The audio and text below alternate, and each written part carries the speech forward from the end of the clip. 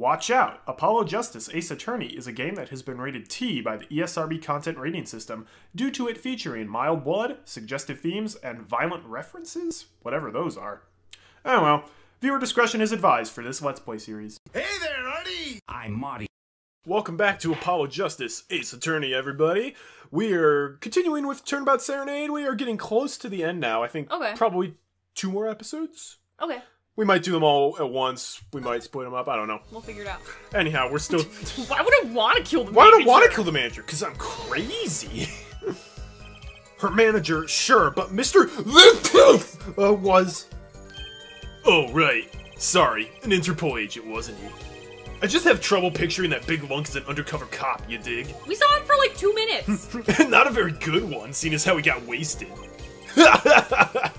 Dude, what the heck? This is so inappropriate. Yeah. Laughing about someone who just died. That's cold, dog. Not that it matters either way. See, I had no reason to kill the man, whatever he was. Easy, I got no motive. But that's the same for Machi! No motive was proven for him! Come on, he traveled around the world with that old fart. He had plenty of time to come up with a motive of his own. Ugh. More than I sure did. I mean, think about it. Of course. Sorry. This is that diva's first trip to the country, right? Daryan, you're a detective with international affairs? Yeah, what of it? Even if this was Mr. LeTouse's first trip to the country, you still could have met him prior to the concert. Huh? Or don't you take any international trips in international affairs? He's like, no. That's right. Well, Detective Crescend. That's your game, is it? Guess I better confess then. Confess? Yeah, it's a bit of an embarrassment, but I've never been sent overseas. What? But you're an international? See, me and Blaine's got a difference of opinion. We don't like each other that much. Also, whoever gets to sit in front of him, it's like his hair is constantly poking them. True. Is it like he's claustrophobic? Is it like he can't handle the idea? of... Public transportation makes it bar, but I barfing is his power. power. He's lava. Oh my gosh. He is lava bar. He is lava bar. My condolences, Herr Forehead, but he's telling the truth. He's never set he's never set foot outside the country, I can guarantee it. As it turns out, my division has plenty of work to do vocally as well. That's so unfair. It's so stupid. Why would you be in international affairs if you don't go international? so you didn't fraternize, frater- fraternize with him at all during the concert? wow. Okay. That's a, sorry, that's a word that I'm not used to reading. Frat- Frat, fraterni- fraternize. Fraternize? The only ever time I've heard that is Ron Weasley in book four. You're fraternizing with the enemy, Hermione. Yeah. It's Wow. like a, yeah, it's like a right. British word or what? I don't know. Not said much in America. Fraternize? Ha! I don't think we exchanged a single word. As if anyone would want to talk to that old Eastern Okay, blockhead. you can cut it, bro. Can we What arrest this guy for being inappropriate? now the ladies, that's a different matter altogether. Except Lamiroir. Yeah, apparently. so you see, if I didn't know him, why would I want to kill him? You sure about that? What? What? Wipe that look off your face before I do it for you. Listen, you try throwing out one of your wild accusations, I'll throw it back at you so hard you'll forget who you're accusing of what. Herr Forehead, perhaps it's best if you let your evidence do the talking, yeah? Man, what evidence? That's what I want to know. So he's using this motive question as ammunition, huh? Well, I've got ammunition too! Evidence! Okay, well, it's probably the last statement. Why would I want to kill him? Maybe. I'm just a shark. Maybe because he has that egg! It's a cocoon. The cocoon! Objection! Your Honor, take a look at this. What's that? Hmm, looks like candy. Uh, it's not. Please don't lick it. Detective Crescend, ever seen this? Looks like a piece of candy. What it is, is evidence. Don't lick it before you try it. Specifically, this is a replica of a cocoon. It was found among the victim's belongings. A cocoon? Never seen one that color. It is a variety only found in the Republic of Borginia. Nowhere else. Alright. But what is this cocoon replica doing in my courtroom? Surely this has nothing to do with a motive for killing Mr. LeTouse, does it? It does! Wait, I mean, I think it does. You don't sound so confident, man. A cocoon? Is it one of those silky cocoons? The kind you can make, well, silk out of? Not this one. This cocoon makes a powerful curative. A curative? For what? Apparently it is most effectuous at treating a disease thought incurable. It is the only medicine of its kind. However, it is illegal to take one of these healing cocoons out of Borginia. Whatever for. If it's such a miracle cure, why not share it with the world? Yeah, that's what I've been wondering. We looked into the matter at some length. Apparently, it isn't difficult at all to manufacture a remedy from the cocoon. Yet, if you change the process only slightly, you can easily make a large quantity of something else entirely. A deadly poison, in fact. So here's not confirmed at all, Uh huh. but one fan theory that I've heard that I really like is that it makes the same poison that Dahlia used in Trials and Tribulations, and because she was using it, they're like, "Wait, this is bad. We gotta ban these and put like Right. a trait hold on them." Again, no evidence Could- in the game, could be, but though. I like I like that. I like how I like tie that in. would work. Wh- what? There was an incident several years ago where some of these got into the black market. Okay. It caused quite the commotion in the global community. Though the media was kept largely unaware. Hmm, intriguing. All this has led to a strict ban on Cocoon's export. One rigidly enforced by Interpol, among others. Interpol? Right! The victim, Romein LeTouse, was an Interpol agent. Detective Crescend, you insist on referring to him as a manager. But that is misleading. Romein LeTouse wasn't killed as a manager. He was killed as an undercover agent. So I was trying to smuggle this gumball into the country? That what you're trying to say? I'm saying that we could w- that could well be a motive for murder. Oh, so I was going to sell it on the black market, make myself a pretty penny? Ridiculous! I mean, totally unthinkable. Unthinkable, you say? Why? Perhaps it's time for another testimony about this smuggling of cocoons business. Cocoon smuggling? Cool. International Affairs got a memo about these cocoons. Interpol's all hot and bothered about them. Can't sell them on the black market. Too dangerous. Yeah, cocoon smuggling ain't exactly lucrative anymore. Man, I'm in international affairs. I know the deal. But you haven't left the country. Indeed. Interpol wanted these cocoons bad enough to send Mr. undercover. You kids think up the craziest things. But no way am I going to risk life and limb just to get my hands on some dirty cocoon money. Not the most noble of statements, but duly noted. According to reports, these cocoons top Interpol's list. Selling them to an underground organization would be risky. Hmm. Very well, you may begin the cross examination. This is the only motive I've got. He was up to something, and I'm going to find out what. Really? You're not you're not cracking down on like the drug market or like or like Cocoons. the the trafficking market? No, you're Maybe going they after could be made into drugs. I don't know. smoke cocoons every day. They could be. I mean, I don't know. International Affairs got a memo. That's great. That memo! That's how you knew about the cocoons! Oh, nice one, nice one! I'm running scared now. You had to know about the cocoons to plan this.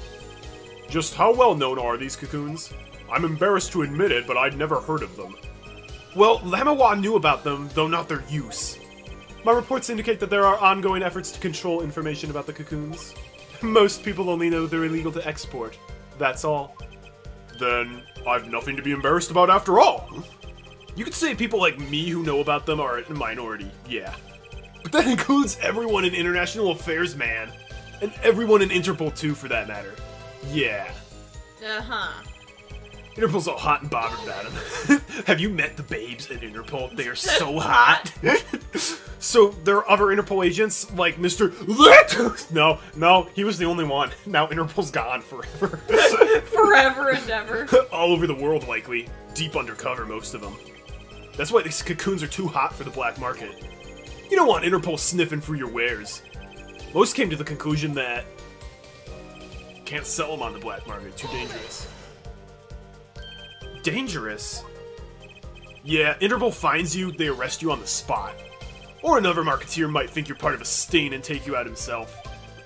Times have changed.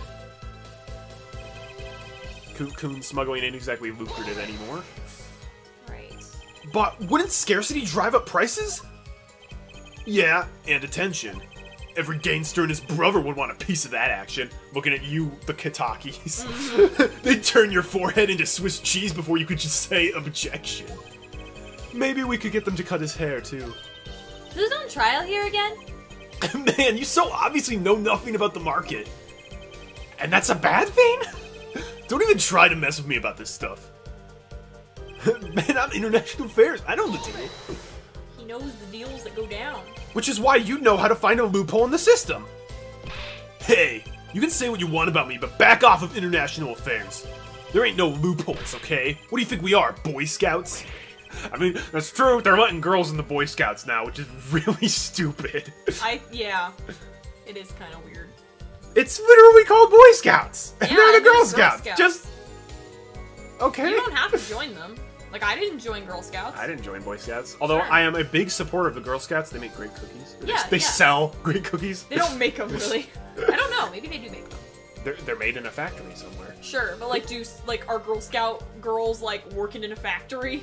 I Hope kind of not. doubt it. Um, child labor laws and all that. yeah. That wasn't what I was trying to, um, down, Daryan. It's as you say. There are no loopholes, at least in the case of these cocoons. International Affairs, Interpol, and Borginian Customs are all watching. See, we know what we're doing. Not like some yipping little doggies that lap up every word the diva says. Why I on it? On what? You want some of this? Chill, both of you. Let's do this cool, yeah. Gah, screw cool. I want this guy's head on a stick. The rep- Your head would look good at the end of a poll. Would you like to declare war on Saladin? What? Civ 4, whenever you Oh. declare war on someone, you're like, your head would look good at the end of a poll. wow. the replica's gotta be the key to his motive. There's gotta be a way to find out what he was up to. Alright, so. Okay. I'm gonna be like, is his bracelet reacting at all? Nope. No. Yeah, that's that's fine. Isn't lucrative? Yeah, okay. I'm in international affairs. I know the deal. Yeah, it's. Uh, well, he's in the, in international affairs though. Yeah, he is. Uh, backup, I guess. I keep forgetting. Remind me the exact meaning of lucrative. It's like not Um, possible. Ain't exactly lucrative, like, it isn't worth it, Basically. It isn't worth it. Okay, okay. Or, like, it isn't really possible all that much. Yeah. So he's, he's basically saying, like, because Of, of all the sting operations sting and how operations. strict everything is, like selling it on the black market is too dangerous, so people don't do it. Basically, Right. Okay. Uh, previous statement. Yeah, that's fine.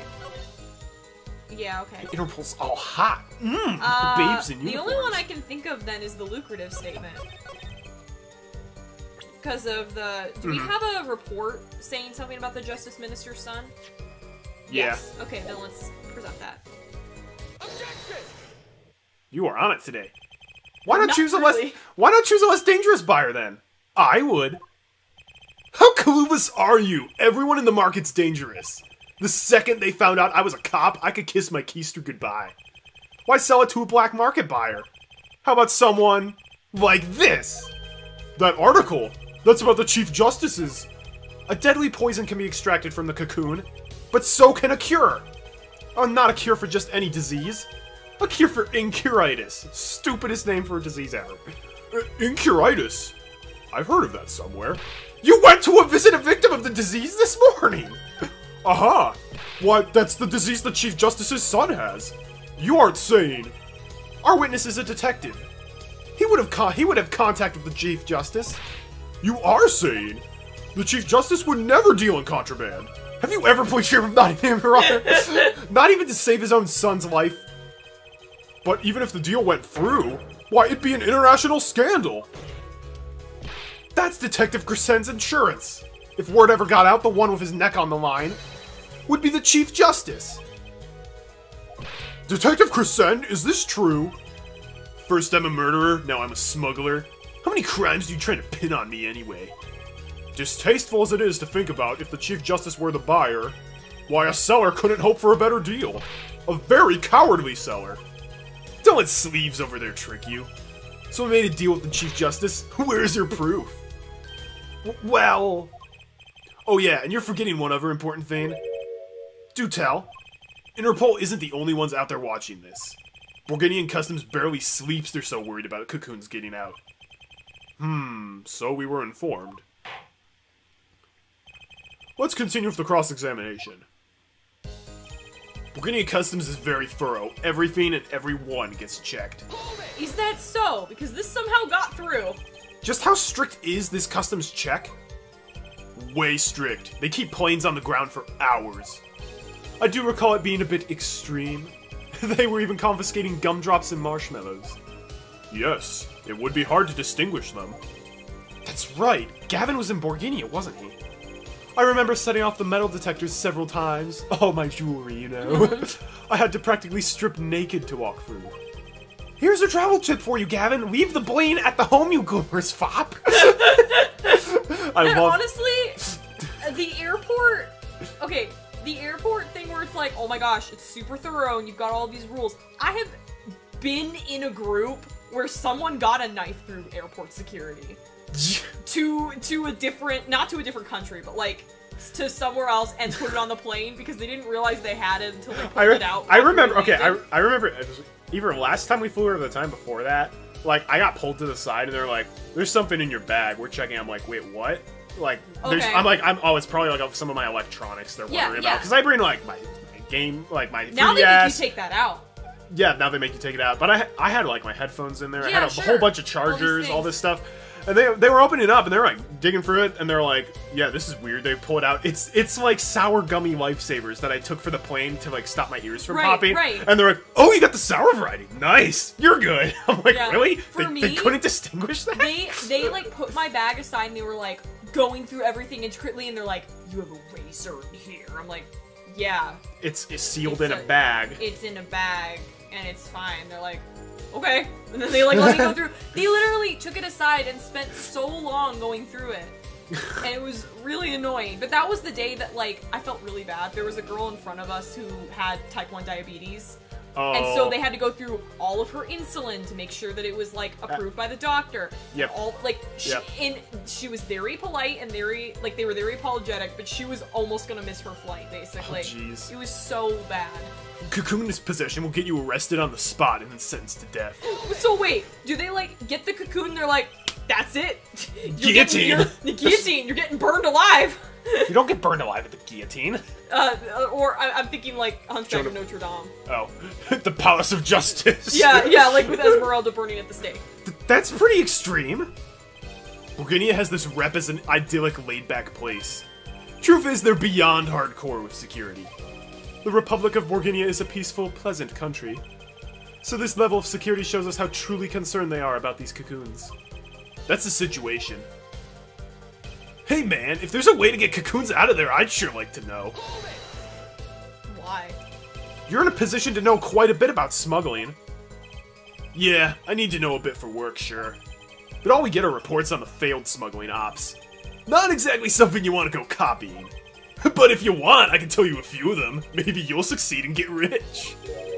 I would be interested in hearing, purely from a legal perspective, of course. I weep for our judicial system. The Republic, the replica has got to be key to the motive. There's got to be a way to find out what he was up to.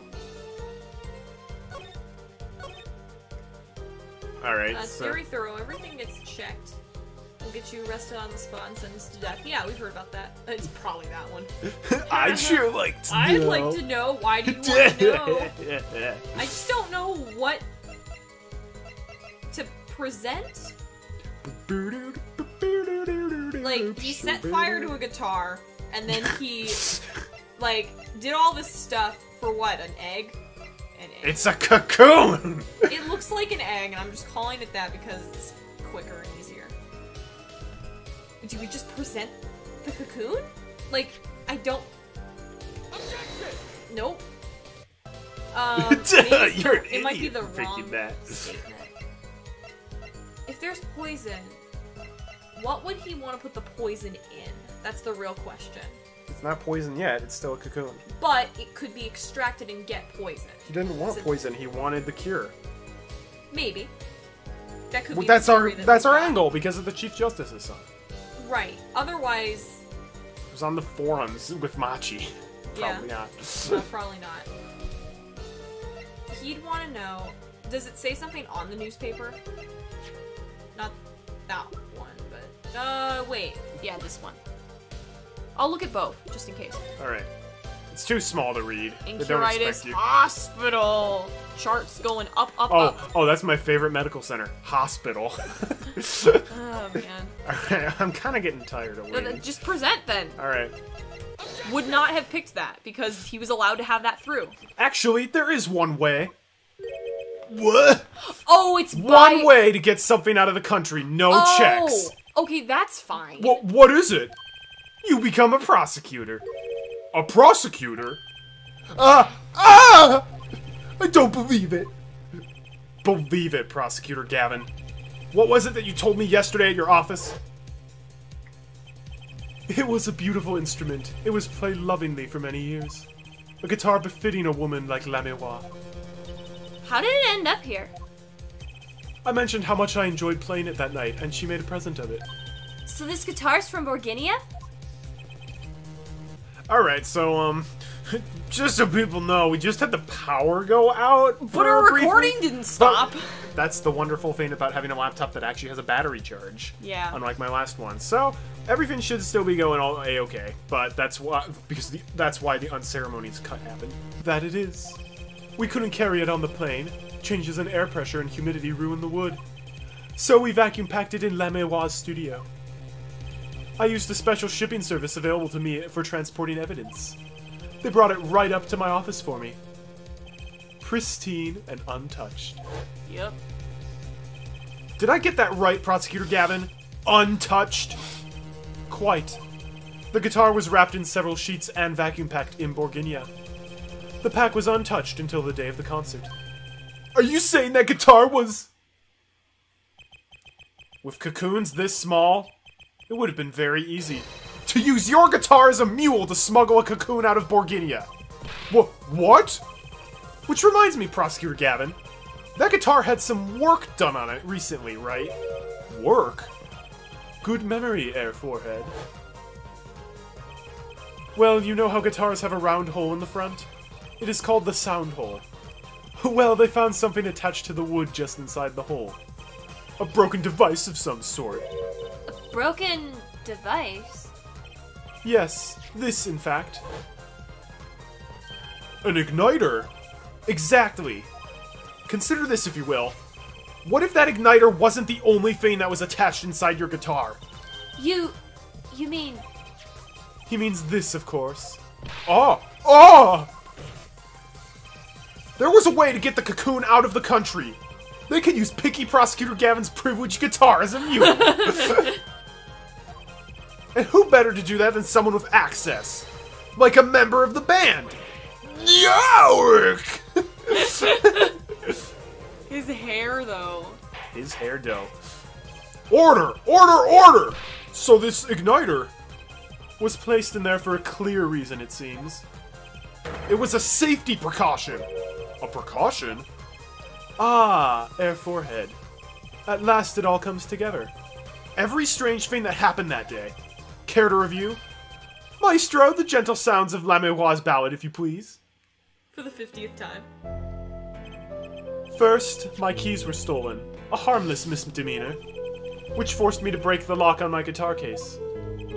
The key was stolen to retrieve the cocoon from the guitar. I. I see. Oh, the keys were to his guitar case. Yeah, I but thought the keys were to his motorcycle. it was keys to everything. He had them all Oh. in one ring. That's dumb. of him. But things didn't go so well. The smuggler wasn't counting on the guitar being wrapped. Only a member of the band could get near that case. Unwrapping the guitar would raise too many suspicions. Then the concert began. Right about this time, a very large problem presented itself to the smuggler. What's that? Mr. Ah, you don't have to keep sneezing. Mr. LeTouse, an undercover agent, was onto something. He would have known about the guitar. He'd only have to check the shipping records. So, Mr. LeTouse tried to examine the guitar himself. If the cocoon were confiscated then, the gig would be up. The only thing left for the smuggler to do was get rid of the whole lot. It's over. Press the switch. Now! The guitar burst into flames, and the cocoon was lost. And then... Mr. LeTouse died, with Lamiroir there to witness it. There's your case.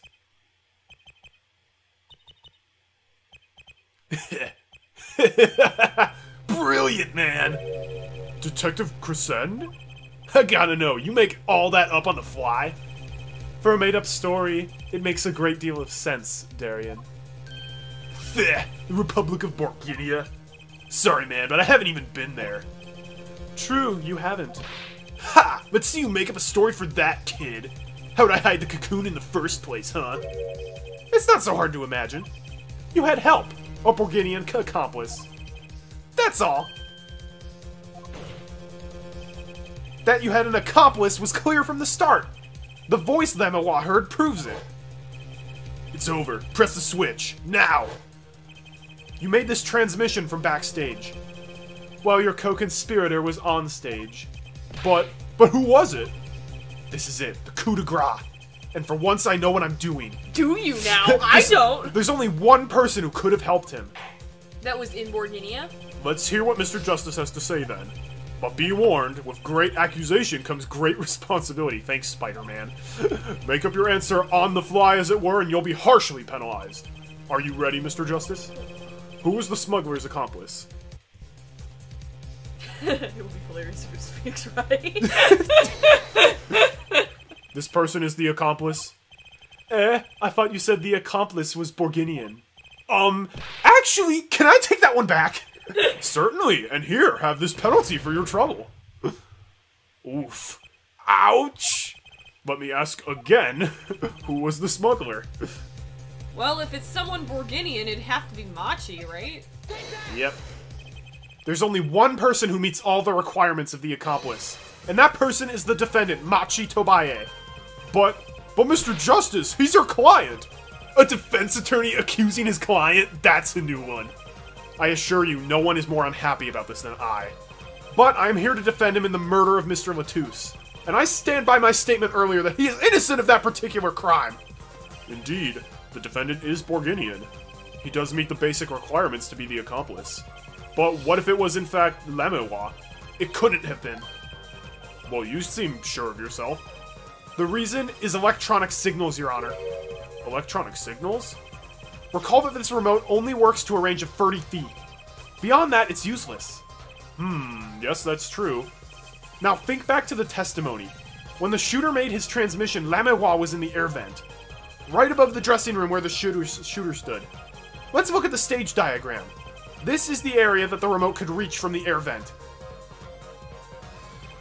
Well, looking at this, it seems that Lamiroir still could have done the deed. No. When the shooter made that transmission, the stage was slightly different than shown here. It was in the middle of the good cut. Sorry, Your Honor. I had to cough. it was in the middle of the guitar serenade. Part of the stage was raised. Prosecutor Gavin and Lamiroir's stand-in were in there at the tower. The tower that happens to be 15 feet tall. Wow, that was fast. That was really fast. In other words, this remote couldn't have worked from Lamiroir's position in the air vent. Ah. Well, Detective Crescend, what do you say to that? Your Honor. Y- yes, Detective? Could we see the video where Gavin's guitar bursts? Yes. Just one more time. It's Yes. so hilarious. Yes. Oh, well, it is quite funny. I don't see why not. What? Don't tell me he has a way out of this.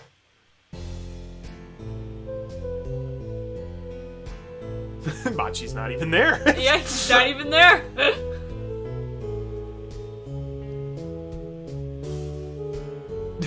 he's so. you gotta love how Gavin only wears sunglasses when it's really dark. I do love that.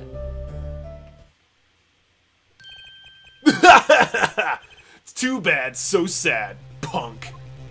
P- punk? First you were sleeves, then kid, now punk?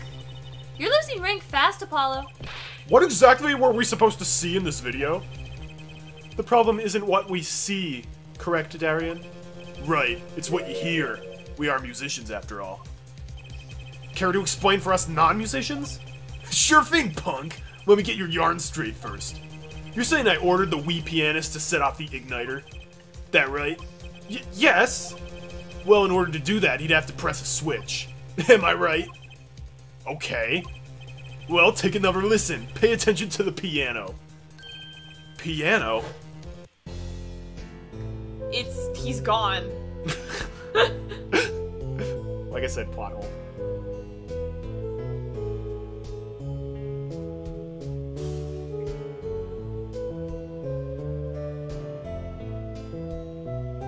Oh, I heard it. Heard what? I heard the most awful note from the piano. That's not what you're supposed to listen to. I That's heard not- like a that's not- Basically. I don't think so. Oh. What seems to be the problem there? The piano sounded just fine. And that's the problem! Man, you still don't get it? Ah. yeah, how's he supposed to hit that switch if he's playing? You've got Miss Diva, the guitar, the bass, the piano, We and the found drums. it in the piano. The only one of her hands free was the diva. Well, the, no, it was in the piano, but you couldn't play the piano with that because it went, went like. Yeah, but I heard the. I didn't hear that. Oh, I heard it. Lamiroir. But according to you, she couldn't have been the accomplice, could she? Ugh. Your accomplice would have had a hard time helping out if they couldn't even press a switch. Ugh. Ugh. Bleh. That's a, It'll that's be a- fine. That's a really weird, like, damage Hold it. animation. Oh. Yeah, you understand why people are like, why do we have to watch the video so many times? Is there- It's not bad though. Is there supposed to be dialogue right now? Um, Oh, there. Oh, okay. The piano plays non-stop.